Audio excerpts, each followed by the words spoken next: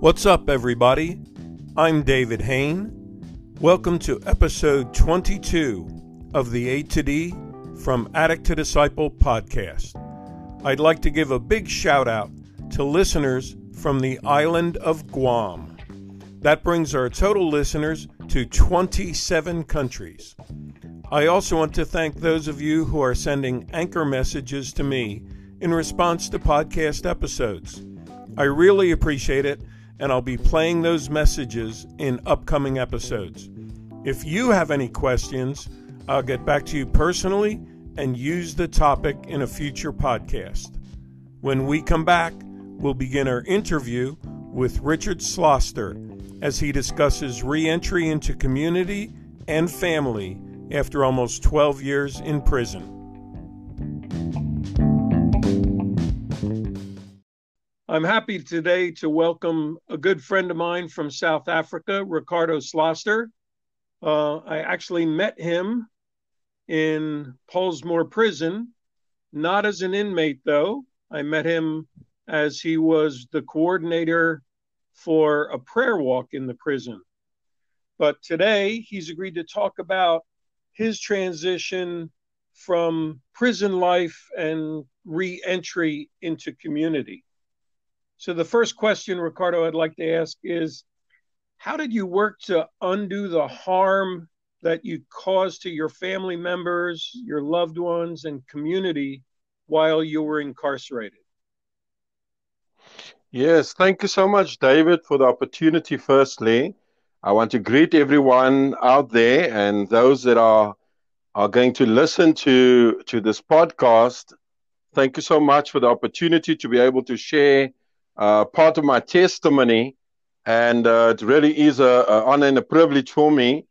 I do want to start out by saying, you know, I don't see myself as as this great guy. Um, I'm, what I am is just through the grace of God. And uh, so I give him all honor and praise because he's the one that that transformed and renewed my life and also brought reconciliation even in my relationship with my family and my community and my friends. And uh, so, yes, indeed, it hasn't been an easy journey. But I do want to say that it was very well worth uh, the journey that I've taken and uh, the decision that I made way back in 1999. I decided that, you know, prison and gangsterism, uh, addiction to, to drugs, and all the rest, this is really not for me. This is not what I want for my life, although I found myself in some serious trouble. So, uh, yeah, so the question that you were asking me is in relation to my family. Now, yeah, like I said, it wasn't easy. Um, I think mainly, um, you know, people really want to not just hear that you have changed and by you just telling people, you know, I'm not that same person that you knew, I don't think that is enough. Uh, with my family, I uh, I do know that they believed me. Um, you know, when I said that I that I changed, but still I had to prove that change. And I think uh, the change that people really want to see is that you are actually, um, you know, um, not only speaking about this change, but that you are indeed living out this change. And so this is my experience in my life and in the relation to my family that um, I had to really, you know, prove um, after all the lies, after all the hurt and all the pain that I caused them, I think, um, you know, I had to give them time to really, really believe in me, really to to trust me, because I think a lot of trust has been lost uh, when I when I reverted to criminality and um, and uh, you know reverting to to the use of drugs and becoming an addict. And so yeah so that wasn't very easy. The same with the community. Uh, like they say it is time that will tell if you've really changed and uh, right now it's many many years later i was incarcerated in 1999 and i was incarcerated for almost 12 years because I was released in 2010. And so I'm 10 years that I'm a free man, that I'm outside of prison. Um, five years ago, I finished my parole. And so, yeah, so yeah, I am. I'm still on the what they call the straight and the narrow path, David. Excellent, excellent. And I can say part of the change that your family probably saw is the Ricardo that I met, and I appreciate your your humility in saying you're you're not the great man or anything, but I can tell you when I met you right away, I knew I was meeting a good man with a great heart. Thank you, David. yeah. So knowing that you you decided to change back in 1999 when you found yourself incarcerated, but still mm-hmm. had to serve 12 more years. What did you find when you got released as far as the difficulty in restoring broken relationships that you had hoped would have been restored just during your time in prison? Yeah, I think, um, you know, I had family that faithfully visited me for that entire period of time, uh, you know, for the 12 years that I was incarcerated.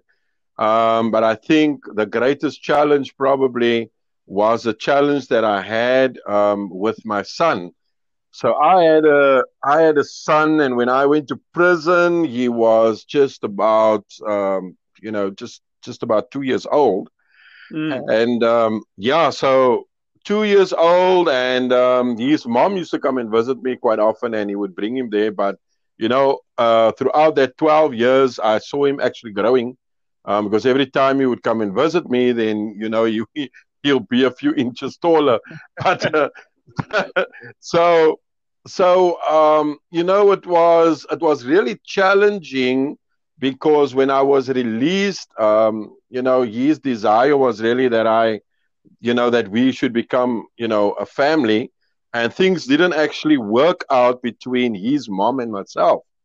Um, unfortunately, it didn't work out. You know, we, we, we tried to make things work, but unfortunately, it didn't go that way.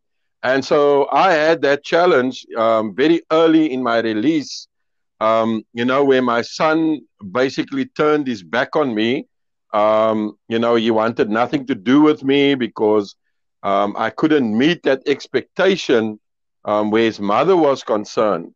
And so, you know, that relationship took many years, um, many of this uh, 10 years that I've been outside, you know, to restore and, and really get back together and, and make him understand. And well, he's a grown man now. He's um, he's 24 years old now, so he better understands, you know, um, you know how things work, and and he's also got a child of his own now. Yeah, that so, must have been really, really hard because you know he spent his early childhood with you incarcerated, but mm-hmm. hanging on to hope that when daddy gets released, we'll be a family again. Yeah, and yeah. I can see that hope just getting shattered all over again when the restoration between you and his mother didn't happen the way he was hoping. Yeah, no, certainly. How were you received by your neighbors and community when you got released? Did you go back into the same neighborhood, same community? Yes, uh, David, when I was uh, involved in crime and criminality and drugs, uh, I didn't really practice that at home um, because I was living, um, you know, with my parents all the years. Um, but when I got involved with criminality, I actually moved away from home okay. and um, out of Mitchell's Plain, and I moved to Delft and you know, I really lived a, a life of, of, of crime and and got caught up in addiction and all that. And um, so yeah, so um, when I eventually got released, um, the neighbors and the community received me with open arms because, uh, believe it or not, um, you know, you can be in prison but somehow, you know, news travels out of prison uh, into the community and people start talking um, amongst each other. Um, you know, that, uh, you know, somehow, I don't know how, how it actually came out, but um, they already knew that I changed my life and that I'm on the straight and narrow. I'm serving God and and uh, when they when I came out, this is exactly what they saw.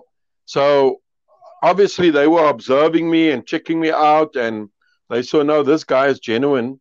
You know, after a few months, they could see you know what I was really busy with, and uh, I didn't keep myself busy with any uh, gangsterism or uh, wrong friends and criminality. I think that's interesting that your crime and and that that addiction side of your life was a half an hour away from the Mitchell's Plain community that was home to you. So you didn't have yeah. the direct victims to return to. Yeah, certainly.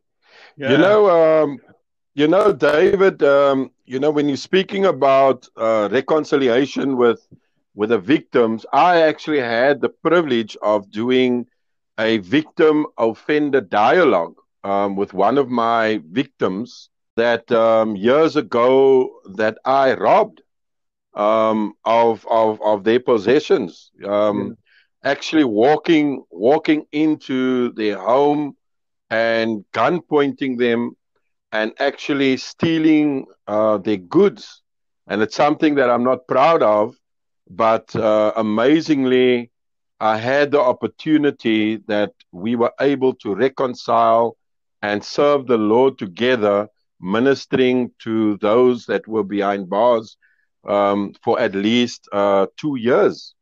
Wow, that's great. That's great.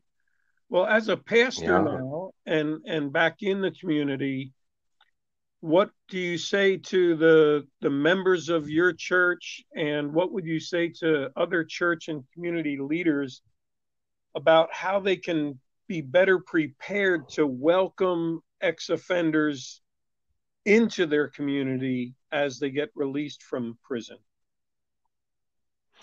Yeah, you know, I what I one of the things that I actually really realized, David, is that you know God has to really give you a a special grace to be able to work with certain type of people um, especially addicts and um, those that are being released from prison. Um, I believe that, and I believe this is the heart of God, that everybody deserves a second chance. And, and third, um, and fourth, and, and certainly seven times seven. Cert- certainly, David, I'm I'm hundred percent behind you with that. Um, if if only everybody believes that, that's that's the only challenge that we had. And uh, I know your heart in terms of you know forgiveness and reaching out to people, but it's not everybody actually that that thinks that way. And um, so yeah, so it's it's it's challenging working with addicts. Um, currently in our community, um, yeah, the scourge of drugs has really taken over in our community. You know, people are onto heroin, they are onto uh, meth, crystal meth, and and all kinds of drugs in our community. And you can you can really see, you know, how this is really affecting not only the drug addicts but families um, throughout our community are really being affected by drug addiction. And uh, our church's doors has been and still is very much open to reaching out to drug addicts. In fact, I just recently employed a a gentleman. Um, he's 35 years old. Um, he comes from a life of drug addiction.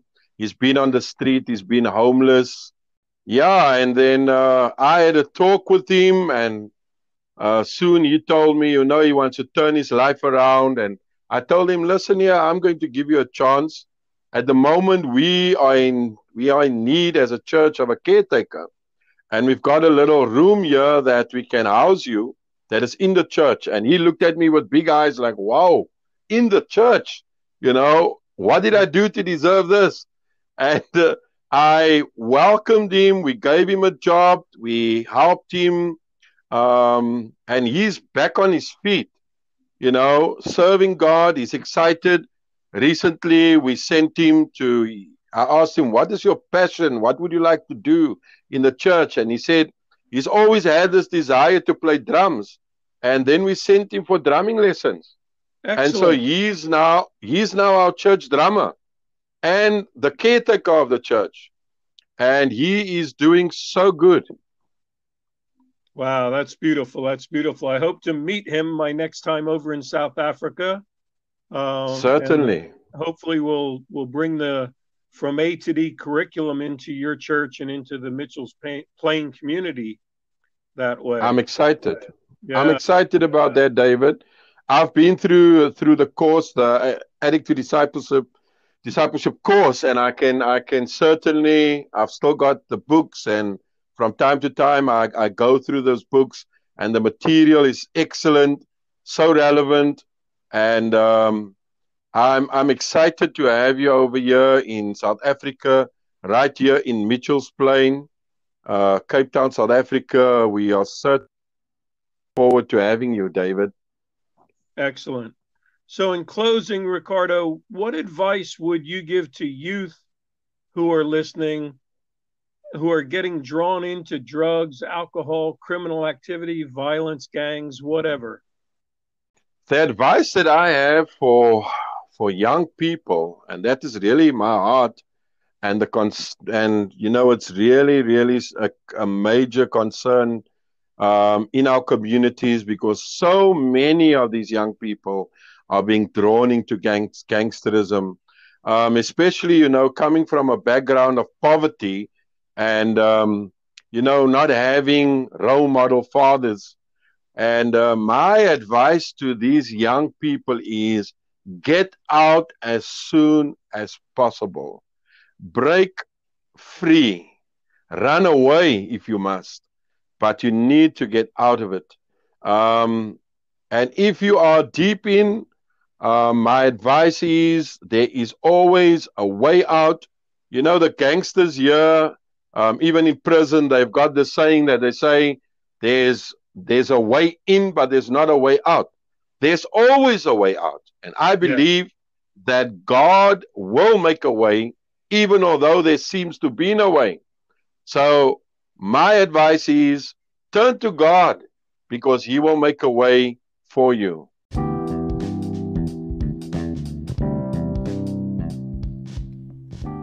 Thanks for listening to this episode of the A to D from Addict to Disciple podcast. I hope everyone has been encouraged by Ricardo's testimony and wisdom. Tune in Monday for our next episode as we discuss aftercare and answer the question how do we walk with someone battling to establish recovery? If you'd like to contact me regarding a Q&A session on addiction, speaking engagements, addiction coaching or consulting, or to utilize the From A to D curriculum and podcasts in your location, please go on my website www.fromatod.org and click on the contact page or leave me a message on Anchor. As always, stay safe and stay strong.